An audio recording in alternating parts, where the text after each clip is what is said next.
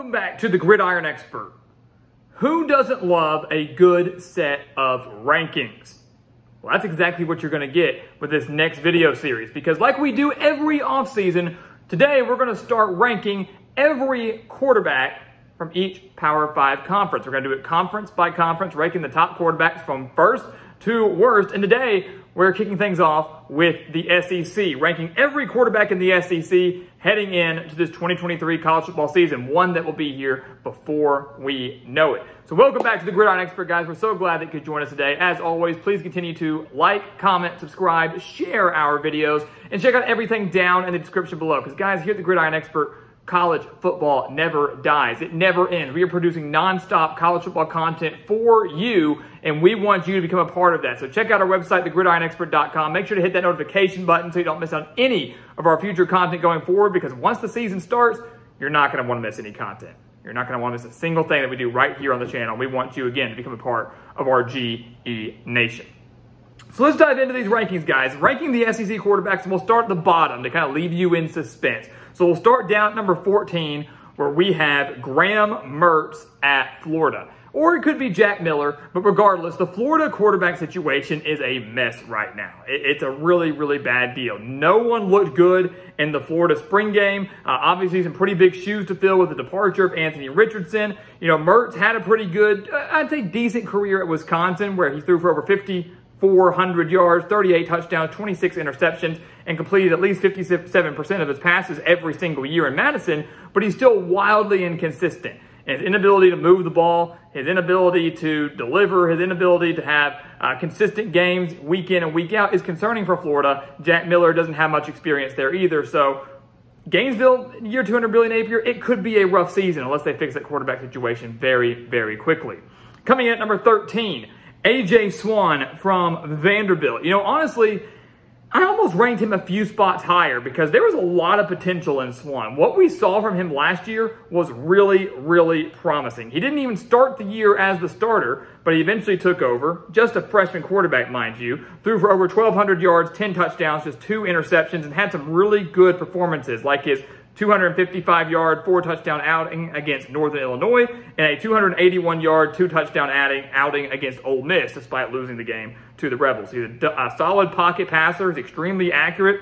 Vanderbilt building a little bit of momentum as well. Five and seven record last year, winning two conference games over Kentucky and Florida in the final three weeks of the season. Definitely carries some momentum for a team that was struggling under Clark Lea. Year three could be the year they take a little bit of a leap. AJ Swann could be a major reason why. In at number 12, Brady Cook at Missouri. Uh, again, we're assuming that Brady Cook is going to be the starter at Missouri. We're kind of picking the starters here for these teams, although some of these have not been officially announced. Uh, and, you know, many will say, wow, is Cook this low? Why isn't he higher? Well, look at the numbers, guys. Over 2,700 yards last year, 14 touchdowns, with 7 interceptions. So a 2 to 1 touchdown to interception ratio. But it should be noted that 6 of the 14 touchdowns that Cook threw came against Abilene Christian and New Mexico State inferior opponents from Missouri where they were expected to win and win big. The only other multi-touchdown game that Cook had last year came against Tennessee, where he threw three touchdowns and a 66 to 24 loss to the Volunteers. He had five games with zero touchdowns last year. He had four games where he threw for less than 200 yards. And yes, I know he kind of got banged up towards the end of the year, but this is a guy that definitely needs some work. This is a Missouri team that we've talked about. Could be a dark horse in the SEC East, but they're not going to be if Cook can't improve his game. Comes in at number 12 in our SEC quarterback rankings. Number 11, the Auburn quarterback situation, whether it be Robby Ashford or the newcomer now, Payton Thorne, transferring in from Michigan State. You know, Hugh Freeze a couple months ago said that he wanted more out of his quarterbacks. He said they looked okay, but there's a lot they need to work on. That was before Payton Thorne arrived on the Plains. Ashford, of course, was beat up some last year, obviously, but threw for over 1,600 yards, seven touchdowns, seven interceptions.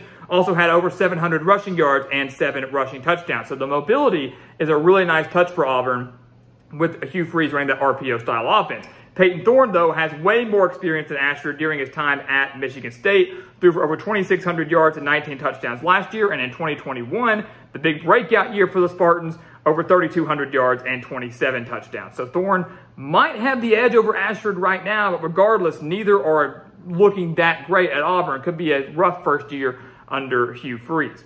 Number 10, Auburn's big rival, the Alabama quarterback situation. It feels weird to have Alabama in the lower half of these quarterback rankings, but it's true. I mean, who's it going to be? Jalen Milroe, Ty Simpson, Tyler Buchner, now transferring in from Notre Dame, reuniting with his offensive coordinator, Tommy Rees, who came over from Notre Dame. Again, Buchner is pretty solid. Uh, was hurt for the majority of last year, but threw for 273 yards and three touchdowns in their bowl win over South Carolina. Milroe started some games last year for Alabama when Bryce Young went down with an injury, and Ty Simpson is just highly touted, but we haven't seen much of him. So there's a lot of concerns surrounding the Alabama offense right now, the Alabama quarterback position. I don't know exactly who it's going to be, and that's concerning because you think about how Alabama's been in the past. It's Jalen Hurts to Tua Tagovailoa to Mac Jones to Bryce Young. They've always had someone waiting in the wings. This year they don't have that. So the offense, a little bit concerning for the Crimson Tide right now. So their quarterback situation going to rank pretty low uh, with some of the other guys that are remaining in the conference. Number nine, Conner Weigman at Texas A&M. Again, a guy that has a lot of potential, young quarterback, very accurate, very strong arm, and could take a major leap forward with Bobby Petrino now coming in as offensive coordinator uh, with the Aggies. A, a guy that knows how to develop quarterbacks and knows how to sling the ball. In four starts last year with the Aggies, had 896 yards, eight touchdowns, zero interceptions, including a 338-yard, four-touchdown outing against Ole Miss and a narrow loss for Texas A&M. So Weigman, uh, young, has a lot of areas to grow, but definitely a lot of potential there coming in at number nine. Number eight, the Ole Miss quarterback situation. Kind of similar to Alabama. Ole Miss has three quarterbacks that could get the job, but none are just blowing it out of the park, knocking it out of the park. You know, you look at Ole Miss. It could be Spencer Sanders transferring in from Oklahoma State. He certainly has the most experience of the quarterbacks on the roster, 85 total touchdowns and four years during his time in Stillwater. But Sanders has decision-making issues. He has turnover issues. Jaxson Dart was the quarterback for Ole Miss last year. He's still in the mix. Will Howard transfers in from LSU. Most people will probably lean towards Spencer Sanders getting the nod, but again, is concerning with his decision making and his uh, ability to turn the ball over at an alarming rate. So kind of something to watch out for for Ole Miss. The quarterback, typically a strong suit under Lane Kiffin, could hold them back a little bit at times in 2023. Number seven, Carson Beck at Georgia. Feels wrong to have him so low, right? Feels wrong to have Carson Beck so low, but really it's due to inexperience and it's due to the guys ahead of him having way more experience.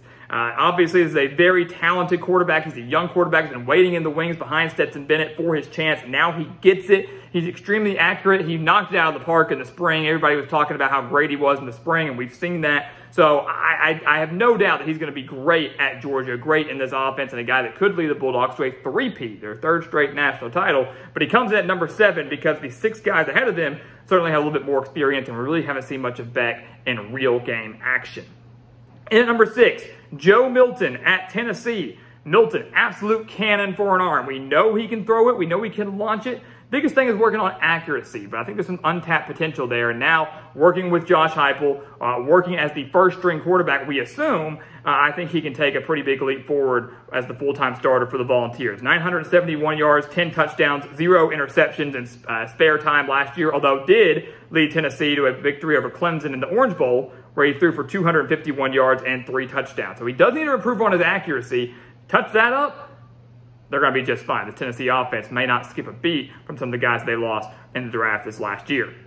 Into the top five, give me Spencer Rattler at South Carolina, a guy that went to Columbia to revitalize his career after kind of falling flat on his face in Oklahoma, had one great year, then Caleb Williams replaced him. He needed a fresh start. Went to Columbia, he got it. Over 3,000 yards last year with the Gamecocks, 18 touchdowns had over 430 yards and six touchdowns in their upset win over Tennessee, and then had 360 yards and two touchdowns in their upset win over Clemson to leave South Carolina to an 8 and 4 regular season record, which was a pretty big shot, all things considered. Uh, Spencer Rattler, surrounded by talent, year two in the system, has a chance to be even better in 2023, definitely deserving of the top five spot in the SEC. And at number four, Jayden Daniels from LSU. Some say he should be higher, but he did struggle with decision making a little bit. His pocket awareness wasn't all that great in 2022, but he's still a top level quarterback in the conference. I mean, he led LSU to an SEC West crown in 2022. Over 2,900 yards last year, 17 touchdowns, just three interceptions, over 880 rushing yards and 11 rushing touchdowns. His dual threat capability is what makes Jayden Daniels dangerous and what will make LSU dangerous once again in 2023. Watch out for the Tigers, guys. Daniels coming in at number four, and he's looking to improve across the board, not just as a passer, but more so with his awareness and anything else.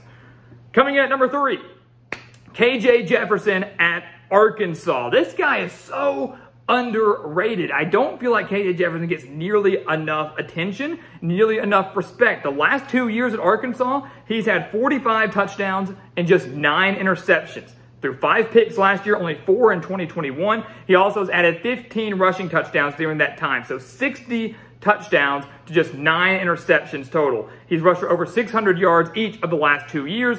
He is lighting it up, and I think he's going to do even better with Dan Enos now in his offensive coordinator in Fayetteville. KJ Jefferson, guys are sleeping on him. He's got a great size, a great frame, a great arm, makes good decisions, except for the fumble at the goal line against A&M. But besides that, he's pretty dang solid, and to me, a top three quarterback in the conference, no doubt about it. And at number two, Devin Leary. He wasn't even in the SEC last year, and here he is at number two in the conference, quarterback at Kentucky.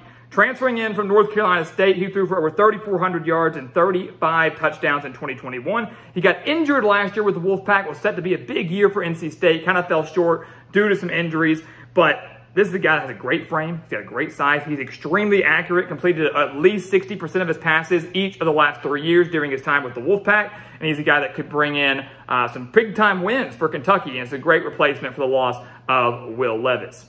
That leaves only one quarterback, guys. Who's it going to be? It's number one, Will Rogers from Mississippi State. Obviously, I, there was a slight concern there considering the, the tragic passing of Mike Leach. What will Zach Arnett do with the offense at Mississippi State? Will they remain air raid? Will they go different? How much will Will Rogers still be utilized? It's going to be plenty. And when you're a guy that holds the SEC record for career completions, when you already own the Mississippi State record for passing yards with over 10,600 passing yards and the record for touchdowns with 82, and you still have a year left to play, you're the number one quarterback in the conference, no doubt about it. He can light you up in an instant. Will Rogers, to me, is the best quarterback in the SEC right now. He's accurate, he's dangerous, has back to back years with at least 35 touchdowns and less than 10 interceptions. He takes good care of the ball. Mississippi State wants to go fast offensively, and they're going to do it with Will Rogers. Unfortunately, they haven't had some big time breakout years with the performance from Will Rogers, but again, this, he's a quarterback that if you're a defender, if you're a defense, you don't want to see him on the opposing sideline. So give me Will Rogers at number one, and let's clang those cowbells. So there you go, guys. There are your top quarterbacks in the SEC heading into 2023. We ranked them from first to 14th. Will Rogers at one, Graham Mertz last at number 14. Tell us what you think. Leave your comments for the SEC below and get ready because we're doing this for every single Power 5 conference. So we got some big time conferences, big time names coming your way, and we can't wait to get your thoughts and debate on these rankings as well. So guys, as always, thank you so much for watching us here at the Gridiron Expert on YouTube. Make sure to continue to like, comment, subscribe, share our videos, and of course, check out everything down in the description below because again, guys, here at the Gridiron Expert, college football never dies. The season never ends at our channel, and we want you to become a part of that. We want you to become a part of our GE Nation. And once again, guys, as always, thank you so much for watching, and we'll see you next time right here on The Gridiron Expert. Yeah.